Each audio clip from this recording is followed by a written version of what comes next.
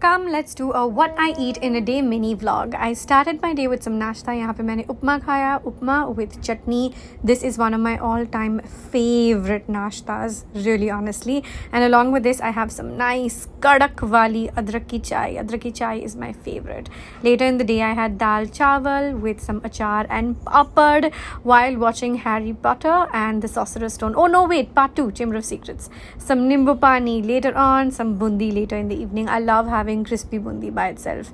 Then I went for dinner with my best friend to Fuyour in Bandra. We ate a whole lot of really amazing Asian food. This is prawn chung fan. They gave us little fans so we can have it with the spicy menu that they were serving us.